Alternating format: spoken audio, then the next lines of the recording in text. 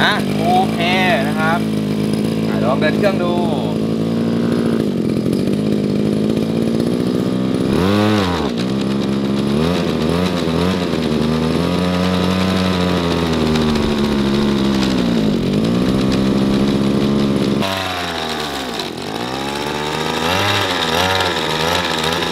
คือตอนนี้เครื่องตัดหญ้าผมมันติดง่ายครับ แต่ปัญหาของมันคือมันไม่มีกำลังอัดครับ เวลาบีบแล้วมันไม่มีแรงจริงครับ สวัสดีครับ เพื่อนๆอยู่ในช่อง T3B ครับ แล้วตอนนี้ก็คือช่วง T3B DIY งานช่างง่ายๆ ที่เพื่อนๆสามารถทำได้เองที่บ้านครับ แล้วก็ต่อจากสัปดาห์ที่แล้ว และสัปดาห์ก่อนหน้านั้นครับที่เครื่องตัดหญ้าผมเนี่ยยังใช้ไม่ได้นะครับแล้วก็หญ้าก็ฟูเต็มบ้านไปหมดเลย หลังจากที่เราทำการ DIY ล้างคาบิวแล้วก็เปลี่ยนจุกแยกน้ำมัน เปลี่ยนเขี้ยวลานสตาร์ททำให้เครื่องสตาร์ทติดง่าย แต่ตอนนี้ปัญหาของเครื่องตัดหญ้าผมเนี่ย มันคือไม่มีแรงครับ สัปดาห์นี้ครับ เราก็เลยจะต้องมาทำการลื้อลูกสูบดูกันครับ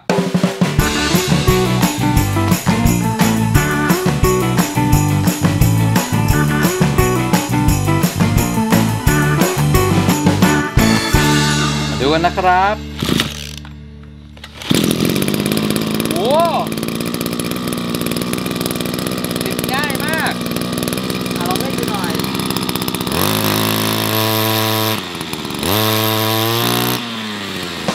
และอีกอย่างหนึ่งนะครับอยากให้เพื่อนๆสังเกตก่อนที่จะเลือกเครื่องตัดหญ้านะครับนั่นก็คือการเติมน้ำมัน ปกติเวลาเราเติมน้ำมันเครื่องตัดหญ้าเนี่ยเราจะใช้น้ำมันเบนซินแล้วก็ผสม autolube ครับซึ่งเขาก็จะมีอัตราส่วนในการผสมมาให้นะครับตามข้างกระป๋องที่เขาแถมมานะครับซึ่งร้านตัดหญ้าครับเขาบอกว่าให้ผมผสม autolube เยอะๆ คือปัญหาของการที่ผสม autolube เยอะเกินไปเนี่ยครับมันทำให้เครื่องสตาร์ทติดยากแล้วก็ควันขาวครับอีกทั้งเครื่องไม่มีแรงอีกด้วย แต่สมัยก่อนเครื่องตัดหญ้าผมมันแรงกว่านี้ครับดังนั้นวันนี้เราจะมาลื้อลูกสูบกันคือตอนนี้เครื่องตัดหญ้าผมมันติดง่ายครับ แต่ปัญหาของมันคือมันไม่มีกำลังอัดครับเวลาบีบแล้วมันไม่มีแรงจริงครับ เพราะฉะนั้นเนี่ยมันมีอีกตัวหนึ่งครับ เดี๋ยวผมจะลองดูนะมันก็คือ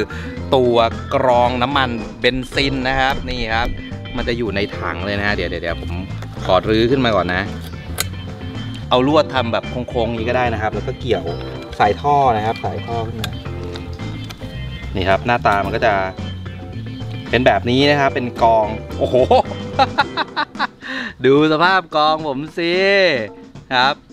อาจจะตันก็ได้นะไม่รู้นะครับ ก็เดี๋ยวมันเป็นกองสักกะหลาดครับ เพราะฉะนั้นเนี่ย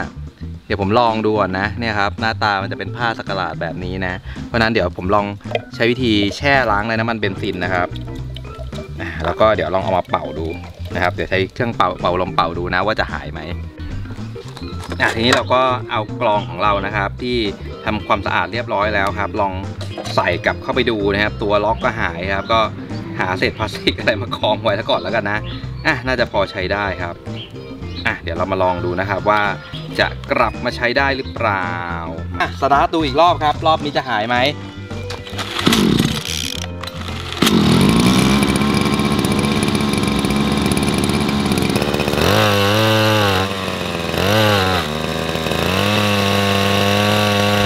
ลังจากทำการตรวจเช็คทั้งหมดแล้ว แล้วก็ล้างกรองเบนซินเรียบร้อยนะครับ เครื่องก็มีกำลังเพิ่มขึ้นเล็กน้อยครับ แต่เวลาที่ผมเร่งคันเร่งเยอะๆเนี่ย เครื่องก็ยังวอดดับอยู่ดีครับ ดังนั้นครับ ก็เหลืออยู่อย่างเดียวคือในกระบอกสูบครับ เราต้องมาลื้อหาสาเหตุอื่นแล้ว โอเคครับ เราก็จะผมจะรื้อตัวสตาร์ทออกมาก่อนนะเพื่อจะได้เปิดตัวเสื้อสูบด้านหลังได้ครับ โอเคนะครับ แล้วก็เปิดฝาได้ละโชว์นะอะข้างในก็จะเป็นตัวเสื้อสูบนะครับ เสื้อสูบตัวนี้นะ อะสำหรับเพื่อนๆที่ไม่มีหกเหลี่ยมด้ามยาวนะครับ เราก็ใช้ด้ามสั้น เอาด้านตูดของด้ามสั้นเนี่ยใส่แบบนี้นะครับ ทีเนี้ยไขแบบนี้ยังไงก็ไม่ออกครับไม่มีแรงครับ เราก็เอาคีมครับมาบิดครับนี่ฮะแบบนี้เห็นไหมได้ละดูแล้วน่าจะติดทั้งสองข้างครับ เพราะนั้นผมก็ต้องรื้อซ้ายขวางไว้ด้วยนะครับหรือหม้อพักถ้อยเสียครับปึ๊บนะครับ ก็ขม่าเยอะนะ ถ้าทำความสะอาดได้เดี๋ยวเราก็เดี๋ยว ใช้เป็นน้ำมันเบนซินครับทำความสะอาดไปก็ได้นะครับ โอเคครับ เราต้องรื้อฝั่งคาคาบิวด้วยนะครับ ฝั่งนี้ด้วยนะ เพราะไม่งั้นเอาออกไม่ได้ครับ ก็ถอดสายคันเร่งออกได้เลยนะครับนี่อันนี้นะครับฝั่งนี้ก็คือฝั่งกรองอากาศนะครับ แล้วก็จะมีปลั๊กเกนติดอยู่นะ ผมจะไม่แกะปลั๊กเกนออกนะครับ เพราะว่าเดี๋ยวฝั่งนี้ปลั๊กเกนรั่วจะมีปัญหานะ อยากรู้ครับว่าข้างในเป็นไงบ้างโอเค นะครับ ดูว่าเสื้อสูบเป็นไงบ้างนะครับ เนี่ยครับปลั๊กเกนขาดเลยว้าเซ็งครับ เดี๋ยวต้องซื้อปลั๊กเกนมาใส่ใหม่อีก คือตัวกระบอกผมอะยังไม่มีรอยครับ เรียบร้อยอยู่นะครับ แต่ตัวลูกนะครับ ก็เนี่ยครับ เริ่มไม่เลอะเทอะแล้วนะทำความสะอาดลูกลูกสุกซะหน่อยหนึงนะครับ แล้วก็ดูแล้วแหวนมันหลวมครับ นะเนี่ยครับแหวนอ่าเดี๋ยวผมลองเอาแหวนมาเช็คดูดีอะ อ้ยลูกสูบลูกเล็กนิดเดียว อ่านี่นะครับ นี่คือแหวนนะ ผมก็จะลองมาใส่ดูนะครับ วิธีเช็คว่าแหวนลูกสูบหลวมหรือเปล่า ให้เพื่อนๆเอาแหวนใส่เข้าไปในกระบอกสูบครับ ถ้าแหวนประกบกันไม่สนิทมีร่องแบบนี้แปลว่าหลวมแล้วครับ เอาจริงนะ คือจะบอกว่าไหนๆก็ลื้อแล้วครับ ระหว่างรอประเกันก็เลยสั่งคุณกล้วยนะครับภรรยาผมครับเขา ซื้อแหวนด้วยครับ แล้วก็พอบอกให้ซื้อแหวนนะ จริงๆ จะบอกว่าซื้อจาก Lazada หรือว่า s h อ p e e เดี๋ยวผมใส่ลิงก์ไว้ใต้วิดีโอมันถูกกว่านะครับ แต่ว่านี่ผมรีบใช้ก็เลยซื้อแถวบ้านครับ ก็ราคาก็สูงพอสมควรครับ ก็เขาบอกว่าถ้าแหวนอย่างเดียว 200 แต่ว่าถ้าลูกด้วยแหวนด้วยแบบมาเป็นเซตอย่างเงี้ยคือ 250อะคือผมก็เลยต้องเอาลูกด้วยแหวนด้วยแล้วกันครับ ถ้าอย่างนั้นนะ มันก็น่าจะ ทีเดียวจบๆไปเลยครับ เพราะนั้นก็ลื้อออกมานะครับ และตอนนี้นะครับผมก็ทำการซื้อลูกสูบมาใหม่เรียบร้อยแล้วนะครับ ลูกสูบเนี่ยให้เราสังเกตนะครับว่าเครื่องเราเนี่ยเป็นรุ่นไหนนะครับ อย่างของผมเนี่ยเป็น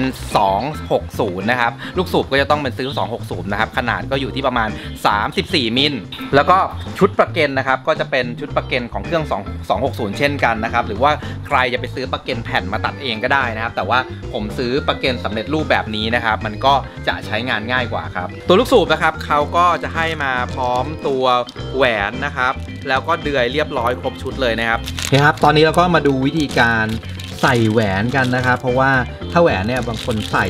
ไม่ถูกเนาะมันก็จะหักครับหักคามือเลยนะอ่าดังนั้นก็มาดูวิธีการใส่แหวนนะครับ อย่างแรกครับให้เราดูที่ลูกนะครับที่ลูกมันจะมีบ่าแหวนอยู่ตรงนี้นะครับ นะสองข้างนะครับแล้วข้างบนเนี่ยก็จะมีลูกศรนะครับ สังเกตนะครับว่าที่แหวนเนี่ยมันจะมีร่องเขี้ยวนะครับ ให้เราเอาร่องเขี้ยวนะ ให้มันอยู่ข้างเดียวอะนะครับ ขึ้นเหมือนกันนะครับ ใส่ไปเนี่ยมันจะปิดแหวนมันจะหนีบสนิทพอดีเลย แต่ถ้าเกิดเราใส่กลับด้านกลับหัวนะครับ มันก็จะหนีบไม่สนิทนะครับ เพราะฉะนั้นเนี่ยเราต้องหงายขึ้นนะครับ เอาให้ถูกเอาให้ถูกต้องนะเวลาเราใส่แหวนนะครับ ให้เอาแหวนใส่มาทีละร่องนะ โดยการเอาเขี้ยวนะครับ บิดลงไปนะครับ ข้างหนึ่งก่อนนะ อ่าแล้วก็อีกข้างตามมานะครับ แล้วอย่างง้างนะ ให้เราขยับซ้ายขวา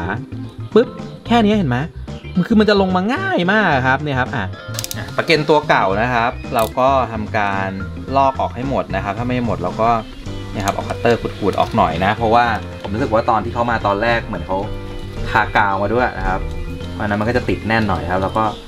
ลอกออกครับทำให้พื้นผิวมันเรียบที่สุดนะฮะ พอดีเดะนะครับของตรงรุ่น ผมมันไม่รู้ว่าคนอื่นใส่ยังไงแล้ววิธีที่ถูกต้องใส่ยังไงนะครับ แต่ว่ามันจะมีตัวสปริงมาให้นะครับ ที่ตัวกั้นของสลักลูกที่เราจะต้องเสียบเข้าไปนะครับ ผมก็จะเอาตัวสปริงเนี้ยใส่เข้าไปก่อนนะครับ ข้างหนึ่งนะ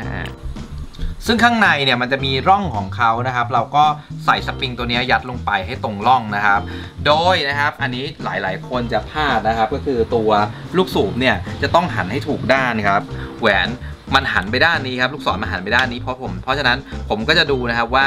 ตัวตำแหน่งเนี่ยถ้ามันอยู่ในตำแหน่งเดียวกันเนี่ยครับเนี่ยครับเหมือนเดิมเลยนะ เพราะนั้นเราก็จะหันไปทางเดียวกันครับ ก็คือเราจะใส่นะครับหันหัวไปด้านนี้นี่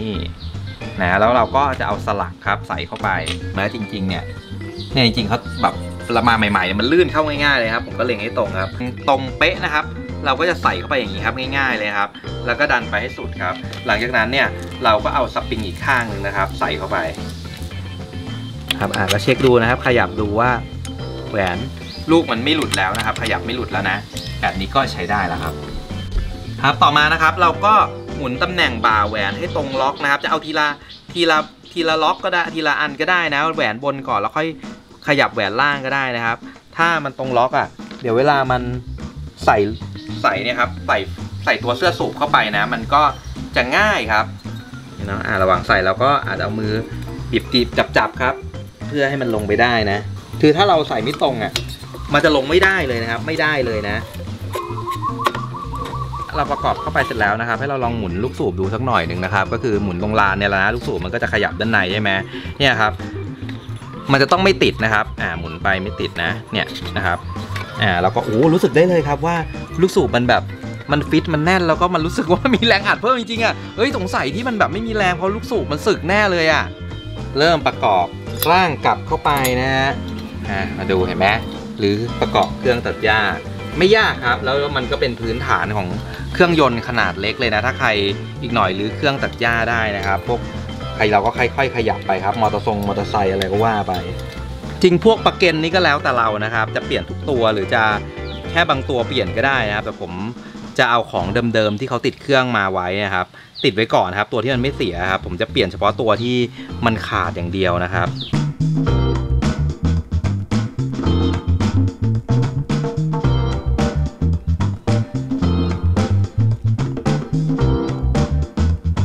ใส่คันเร่งนะครับ ก็ใส่เหมือนเดิมนะครับ หมุนเข้ามา ยกลิ้นคันเร่งขึ้นมานะครับ ใส่สายคันเร่งลงไปปล่อยนะครับ แล้วก็บีบหนึ่งทีครับเนี่ยครับก็สุดท้ายครับใส่ท่อน้ำมันให้เรียบร้อยครับ อืมฮะ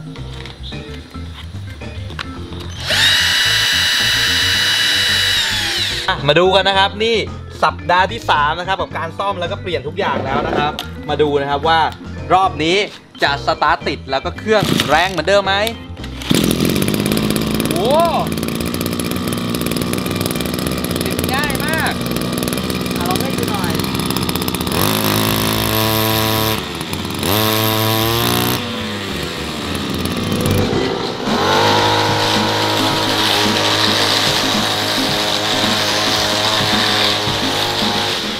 ส่วนงบประมาณตั้งแต่สัปดาห์แรกที่ทำมา ค่าเปลี่ยนจุกยางน้ำมัน 40 บาท ค่าเคี่ยวสตาร์ท 50 บาท 2 อย่างรวมกันเนี่ยยังไม่ถึง 100 บาทเลย ส่วนชุดนี้แหวนลูกพร้อมปะเก็นราคา 250 บาท เอาเป็นว่าโอเวอร์ฮอนเปลี่ยนใหม่ทั้งหมดงบไม่เกิน 500 บาท และถ้าเพื่อนๆชอบคลิปวิดีโอแบบนี้ครับอย่าลืมกดกระดิ่งและกดติดตามนะครับเป็นกำลังใจให้ผมนะครับพาผมไปยอด 3 0 0 0 0 0 subscribe นะครับและตอนนี้นะครับมี TikTok แล้วครับคลิปความรู้ 1 นาทีลงเกือบทุกวันเลยนะครับไปติดตามกันด้วยนะครับ วันนี้ไปก่อนครับบ๊ายบายเครื่องตัดหญ้านะซ่อมเสร็จแล้วครับแต่เพื่อนๆเคยสงสัยไหมว่าใบตัดหญ้าเนี่ยเราควรเลือกแบบไหนดี แบบไหนใช้แล้วประหยัดน้ำมัน แบบไหนใช้แล้วตัดเร็ว มีใบตัดที่ตัดบนหินและหินไม่กระเด็นด้วยนะ แบบไหนใช้แล้วปลอดภัยกว่ากันอาทิตย์หน้ามาตามดูกันนะครับแชร์กันไปให้ผมด้วยนะครับ